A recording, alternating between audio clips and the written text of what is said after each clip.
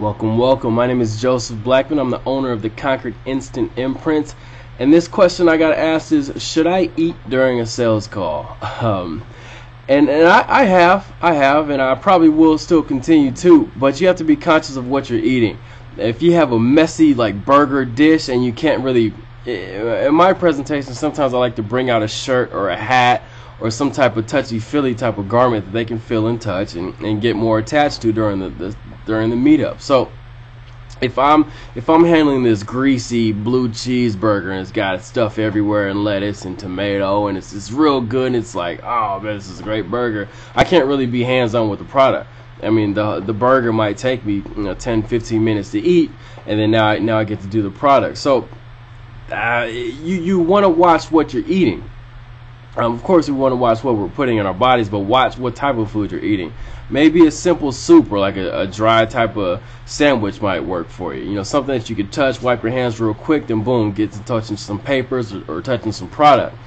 Um, you, you, don't want to have the stuff all over your face, so if, if it's a real messy dish like a fettuccine, you got to be conscious of that. You don't want the white stuff hanging out in your mouth while you're trying to give your, your, your elevator pitch or your, or your speech. Um, so why, watch what you eat.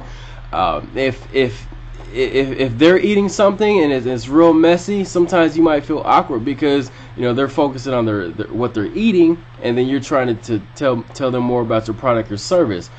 So you want to be conscious of what you're eating. You don't, you don't want to be that guy who's eating something real intense or real into your food, and you, all you hear is wah, wah, wah, because they're trying to give you their pitch, and you're focusing on eating. So I would say you can eat but just be mindful of what you're eating. You know, if it's a simple soup where you can just use a spoon, you don't have to get your hands dirty or anything like that. That's fine. But watch out for the you know the big messy meals where you can't really function while you're eating because you want to you don't want to take up too much time. You don't want to you don't want to spend 15 20 minutes eating and then get into the business part you kind of want to keep it strictly business if you're first meeting up with them.